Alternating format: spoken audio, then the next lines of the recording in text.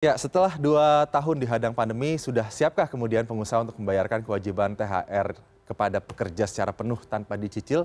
Bagaimana pula laju pemulihan ekonomi di berbagai sektor usaha di Indonesia? Langsung kami bahas pagi ini dengan Bapak Sarman Simanjorang, Ketua Umum DPD HIPI, Himpunan Pengusaha Pribumi Indonesia, Provinsi DKI Jakarta. Bang Sarman, selamat pagi. Selamat pagi Mas, salam sehat dan semangat selalu. Oke, salam sehat dan, dan semangat selalu. Bang Sarman, ini Langsung saja, sudah ada surat edaran dari Menteri Tenaga Kerja untuk membayarkan THR secara penuh dan juga tidak dicicil kepada para pekerja.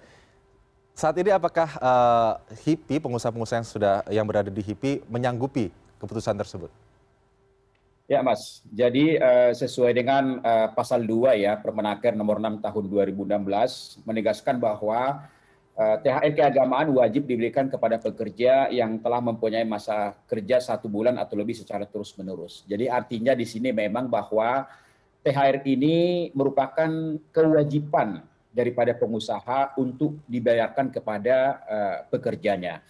Nah tentu kita berharap ya kita berharap sesuai dengan uh, surat edaran Menteri Tenaga Kerja kepada seluruh gubernur untuk memastikan bahwa pengusaha-pengusaha membayar THR tujuh hari sebelum Hari Raya Keagamaan. Uh-huh. Itu normatifnya dan itu merupakan harapan kita semuanya, apalagi uh, ini memang merupakan sesuatu yang ditunggu-tunggu oleh uh, para pekerja kita. Uh-huh. Tapi kita juga tidak menampilkan pas bahwa masih ada sektor-sektor tertentu yang memang cash flow-nya itu belum normal atau belum stabil. Hmm karena memang mereka sangat terdampak dua tahun uh, uh, akibat pandemi COVID-19.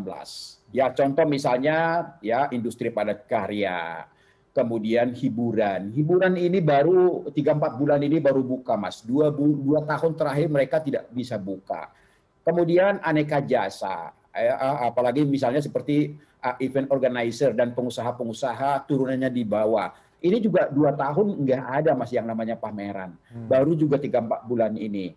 Ya, kemudian juga kita lihat uh, kontraktor-kontraktor kelas UKM misalnya mereka juga tidak ada kerjaan dua tahun ini karena memang semua uh, apa uh, biaya anggaran-anggaran konstruksi untuk pembangunan infrastruktur itu dialihkan refocusing untuk uh, menangani COVID-19. Hmm. Kemudian juga misalnya dari sisi pariwisata, hotel, restoran, kafe misalnya kita lihat juga belum pulih. Ya contohlah misalnya kita lihat teman-teman kita pengusaha hotel di Bali. Baru juga Januari kemarin itu mulai merangkak naik.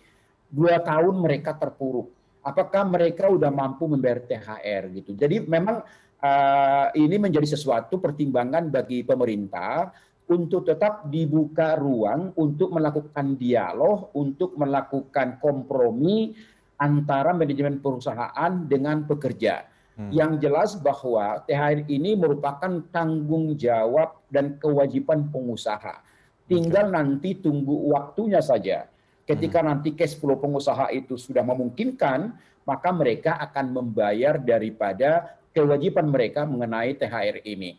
Dan di sini memang sangat dibutuhkan yang namanya uh, katakanlah pengertian dan hmm. kesadaran daripada para pekerja-pekerja kita dan bisa juga melihat langsung bagaimana kondisi keuangan omset dan profit masing-masing di tempat pekerjaan. Jadi okay. artinya dalam hal ini eh, pengusaha tidak bohong misalnya, karena kami juga tidak tidak mau kalau ada oknum-oknum pengusaha yang memanfaatkan misalnya kondisi ini yang seharusnya dia mampu seolah-olah dia tidak mampu, ah, ini harus diberikan sanksi tegas. Bahkan dikatakan Jadi eh, dalam hal ini mas bahwa memang kita berharap memang uh, lebih dominan yang sudah mampu, tapi yang tidak mampu hmm. tentu juga akan diberikan ruang untuk berdialog. Gitu. Bahkan dikatakan juga jika kemudian pengusaha telat membayar THR tujuh hari sebelum Idul Fitri atau Lebaran harus melampirkan data uh, kinerja keuangan dua tahun terakhir, begitu ya, Bang Sarman? Ya, jadi memang Aha. begini, memang ada peraturannya. Aha. Jadi memang kalau misalnya dalam kondisi saat ini bahwa memang kita masih dalam proses perbaikan ekonomi ya, jadi Ibu Menteri Tenaga Kerja juga menyampaikan bahwa saat ini ekonomi kita sudah mulai pulih. Jadi artinya baru sudah mulai loh, baru mulai pulih. Artinya belum normal gitu kan ya. Jadi artinya kalau mulai pulih, keuangan pengusaha juga pasti juga mulai pulih. Nah, okay. di sini memang yang paling diutamakan adalah transparansi dan juga keterbukaan. Ya, hmm. katakanlah misalnya kalau dibutuhkan laporan keuangan dua tahun terakhir, saya yakin pengusaha akan mampu memberikan data dua tahun terakhir karena memang mereka juga bisa menyaksikan sendiri ya bisa kita lihat sendiri bagaimana uh, tem, uh, apa namanya tingkat hunian hotel misalnya, pengunjung kafe misalnya, okay. ya. Uh, kemudian juga event organizer misalnya, hiburan misalnya, saya yakin mereka akan mampu memberikan dan memaparkan uh, uh, laporan keuangan mereka dua tahun terakhir. Jadi memang ini adalah dasarnya keterbukaan dan uh, keterbukaan dan transparansi okay. antara uh, manajemen perusahaan dengan pekerjanya, Mas. Dan ada juga beberapa sektor yang saat ini masih belum pulih betul ya. Tadi sektor-sektor seperti um, perhotelan dan juga hiburan. Bang Sarman, tapi kalau ya. kita berkaca pada tahun 2020-2021 pada saat itu juga banyak pengusaha harus merumahkan karyawannya, boro-boro dapat THR begitu ya. Nah, tapi uh, bagaimana sih komitmen para pengusaha ini kemudian nantinya akan melunasi THR-THR yang tidak dibayarkan misalnya tahun 2020-2021 ataupun mencicil juga nih THR pada tahun 2022 ini bagaimana komitmen untuk melunasi eh, kewajiban-kewajiban uh, itu kepada para pekerja sampai lunas? Iya, jadi kalau kita lihat mas situasi saat ini dalam proses pemulihan ekonomi kita, saya lihat memang ada tiga nih posisi pengusaha saat ini. Yang pertama adalah posisi pengusaha yang mampu betul-betul mampu. Hmm. Ya bahkan bukan uh, bahkan mungkin nggak sekedar THR, mungkin bonus juga mereka bisa memberikan karena memang uh, produktivitas mereka selama uh, COVID ini juga cukup, cukup tinggi. Tapi yang kedua ada juga yang memang setengah mampu. Setengah mampu artinya mereka mungkin bisa membayar tapi tidak full 100%. Nah ini juga saya rasa ini juga menjadi salah satu juga apa namanya uh, uh, uh, uh, uh, yang kita harapkan juga. Tapi hmm. sisanya mungkin akan dibayarkan ketika cash flow mereka sudah memungkinkan. Nah yang ketiga adalah yang sama sekali memang tidak mampu karena kondisi keuangan mereka yang masih belum sangat-sangat pulih karena dua tahun mereka harus mengeluarkan biaya operasional, biaya op, uh, biaya pemeliharaan, bahkan juga mengeluarkan uh, gaji kepada pekerjanya, tapi tidak sebandingkan profit yang mereka dapatkan. Jadi hmm. selama dua tahun ini kan harus mereka mereka free itu mungkin dalam satu tahun, apa ya satu setengah tahun ke depan misalnya. Jadi tapi yang jelas bahwa pengusaha akan tetap komitmen dan bertanggung jawab akan kewajibannya.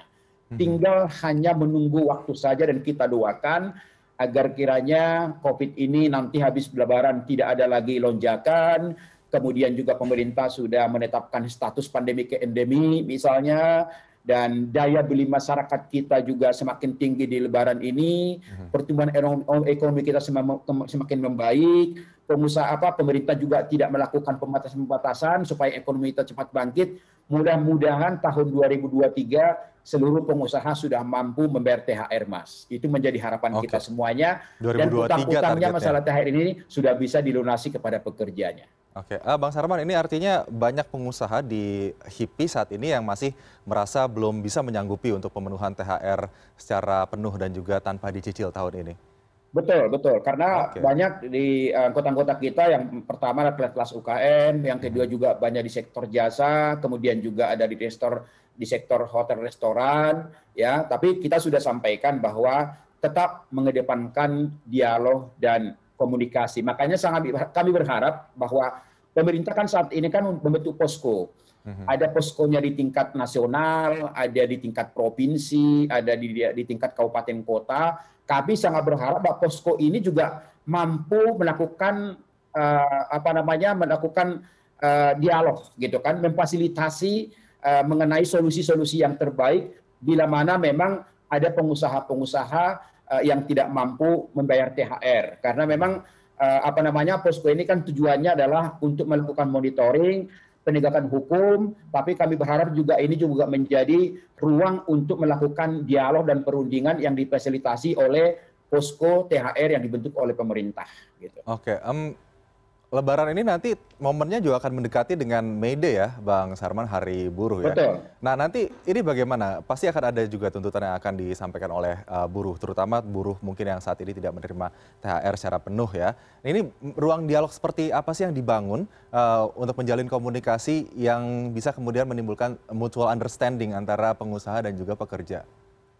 Ya, yang jelas begini, Mas, bahwa uh, ya, yang jelas bahwa pekerja-pekerja itu saya rasa juga harus memiliki satu empati ya. Artinya dalam hal ini bisa merasakan sendiri di tempat mereka bekerja, apakah memang profit pengusaha itu sudah bisa uh, recovery, mhm. atau bisa melihat omsetnya, atau profitnya dalam uh, dua tiga dua, dua, dua bulan tiga bulan terakhir ini misalnya itu kan bisa dicek langsung gitu loh. Artinya jangan sampai misalnya pekerja-pekerja kita menuntut memaksa padahal memang pada posisi cash flow pengusaha kita masih memungkinkan karena sangat tidak adil juga misalnya uh, apa pengusaha-pengusaha kita yang saat ini sedang berjuang untuk pulih diberikan sanksi ketika mereka tidak membayar THR juga kan tidak adil juga bagi pengusaha. Hmm. Jadi dalam hal ini memang kami sangat berharap bahwa ya mulai apa mulai saat ini bagi pengusaha memang tidak mampu membayar THR sudah mulai melakukan komunikasi, sudah bisa melakukan perundingan-perundingan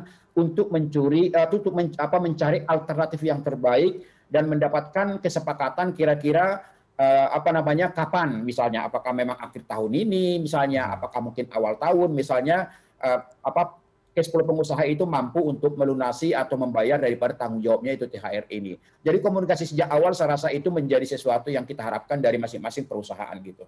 Baik, Bang Sarman tentunya kita harapkan baik buruh maupun pengusaha bisa uh, menyambut uh, Idul Fitri nantinya dengan sukacita dan bisa ditemukan tadi ya solusi yang bisa menjadi alternatif jalan tengah bagi keinginan pengusaha dan juga keinginan para buruh di tengah mungkin perusahaan yang masih belum secara penuh kembali uh, situasi ekonominya seperti sebelum pandemi.